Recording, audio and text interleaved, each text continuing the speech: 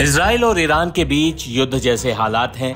Lebanon में Israeli सेना घुसी चुकी है। इस बीच इराक की धरती से इसराइल पर हमला हुआ है, जिसमें दो इजरायली सैनिकों की मौत की खबर आ रही है। इजरायली सेना ने शुक्रवार को पुष्टि की कि उसके गोलानी ब्रिगेड के दो सैनिक उत्तरी इसराइल में इराक में स्थित इस्लामिक रेजिस्टेंस के हमले का शिकार हो शहीद हो गए वही कई सैनिक घायल हैं। इस्लामिक रेजिस्टेंस ने इसराइल में हुए तीन ड्रोन अटैक्स की ज़िम्मेदारी ली है।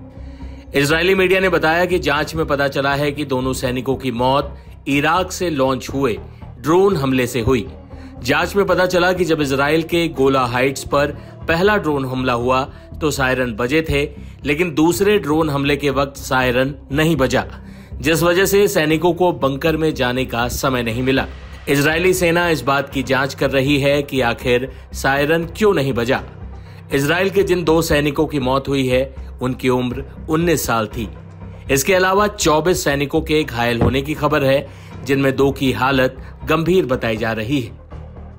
बता दें कि इजरायली सेना ने पिछले हफ़्ते भी कहा था कि पूरब से हुए हवाई हमले को नाकाम कर दिया गया है। पूरब का ज़िक्र इजरायली सेना ने इराक के उग्रवादी ग्रुप इस्लामिक रेजिस्टेंस के लिए ही किया था।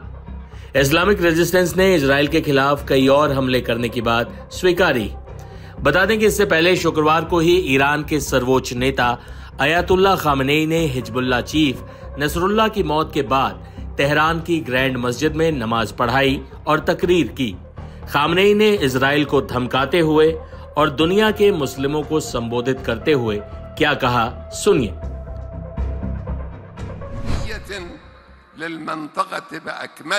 दुनिया भर में इस्लाम के दुश्मन इस तलाश में लगे हैं कि मुसलमान एक ना हो और उनको कमज़ोर करके फ़ायदा उठाया जा सके। इस्लाम के ये दुश्मन फिलिस्तीन, यमन, लेबनान, हर जगह के मुसलमानों के दुश्मन हैं। मुसलमानों के इन दुश्मनों की कमांड एक जगह पर ही है। वहीं से ये साजिशें होती हैं। वो जगह है इसराइल ईरान से गाजा और गाजा से लेबनान तक हमें एकजुट होकर गरीब मुसलमानों की हिफाजत करनी है। मैं आज खास तौर से लेबनान और फिलिस्तीन के मुसलमानों की बात करना चाहता हूँ। फिलिस्तीन के लोगों को अपने नसीब के फैसले लेने का पूरा हक है। उनके इस हक को छीना नहीं जाना चाहिए। फिलिस्तीन पर कब्जा पूरी तरह से नाजायज है। ये लोग जो फिलिस्तीन पर कब्जा कर रहे हैं, ये तो बाहर से आए फिलिस्तीन और लेबनान के मुसलमानों पर जुल्म हो रहा है। और ईरान इस नाजुक मौके पर लेबनान और फिलिस्तीन के लोगों के साथ खड़ा है। ईरान अपने मुस्लिम भाइयों के साथ खड़ा है। ईरान लेबनान और फिलिस्तीन के लिए सब कुछ करेगा। मुस्लिम देशों को अफ़गानिस्तान से लेकर यमन तक, ईरान से लेकर गाजा और लेबनान तक अपनी रक्षा के लिए कमर कसनी होगी। ईरान हिजबुल्ला के साथ है। इसराइल को ईरान ने सही जवाब दिया है। अगर इसराइल हमला करता है तो ईरान भी पीछे नहीं हटेगा। हमने अपनी ज़िम्मेदारी निभाई है और आगे भी ज़रूरत पड़ी तो इसे निभाएँगे। हम न जल्दबाजी करेंगे, न रुकेंगे। दुश्मन हमें तोड़ना चाहते हैं। दुश्मन मुस्लिम देशों के पीछे पड़े हैं।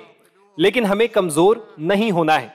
सैयद हसन नसरुल्लाह अब हमारे बीच नहीं है, लेकिन उनकी आत्मा और उनका मार्ग हमें हमेशा प्रेरित करता रहेगा।